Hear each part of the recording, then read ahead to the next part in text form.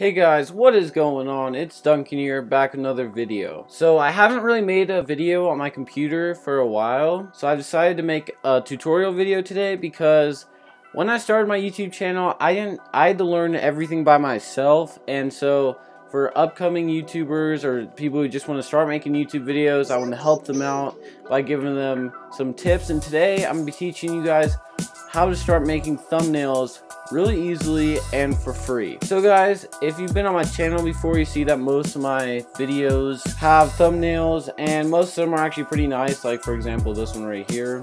You can see I worked really hard in that one. But honestly guys, it doesn't really take that much to know how to make a thumbnail. So today I'm to be using Fotor Photo Editor, which is a free app that you can get on the Mac store for free. And so this is only for Mac. Sorry guys if you're Windows, but this is what I use to make all of my YouTube videos. Let me just show you how easy it is. So just press click here to, uh, well, let's start from the beginning. So when you open the app, it'll just say edit collage or batch. And I always just put edit. And so you just ha have the thumbnail that you've have a picture of or you just made it and so I'm just gonna go to all my files and for example this is one of the wallpapers I've been looking at. And so here it is. So you go this is all I do is sometimes you can just go to effects or crop tons of different things you can do. You can make it so that it's a lot blurrier everywhere else besides for the one area you add text, which is what I just do, and the text that I use is I just use DIN condensed, and like for example, uh, let's name this sickest wallpapers. Yeah, you know, pretty lit.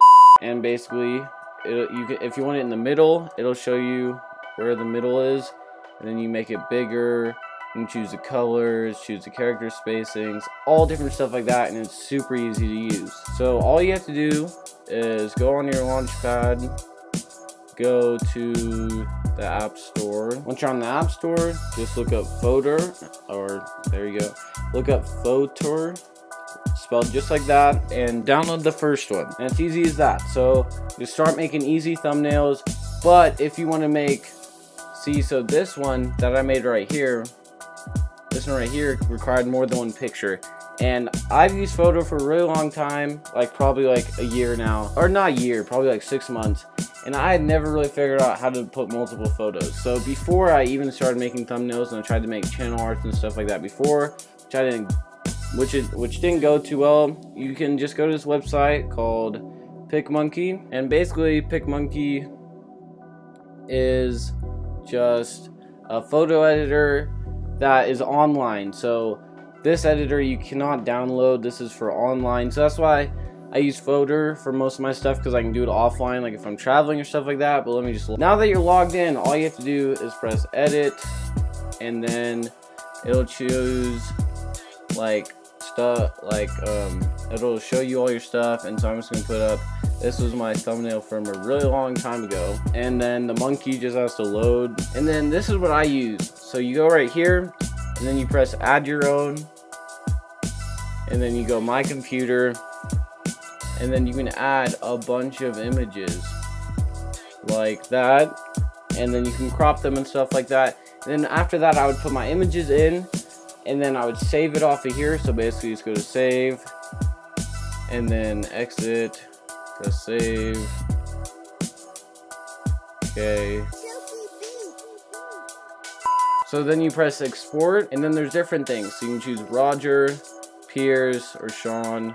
Sean is the best. I usually just use Pierce, so you don't really need that big of a file. And then you can choose for sort of, like you can choose sort of how big, because I have to get to like 720, but sometimes I need I need it to be like edited a little bit more. So after I've saved it, use replace, and then you open it up, go down here, go to folder, cancel out that project, or go just go to home.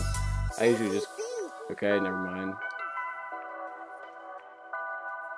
And then press edit, add, and then we can just go to my all my files, set up them.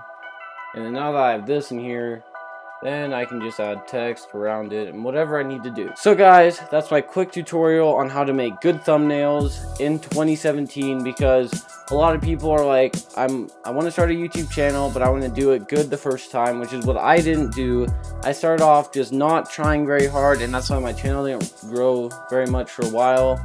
Once I started really getting into it, I learned how to edit better, and I learned lots of things, which I'll be doing other tutorial videos on. So this week, guys, on my channel, please subscribe. I'll be doing lots of more tutorials this week, maybe in the week after. So guys, that's going to be it for today. I hope you enjoyed the video, and I'm out.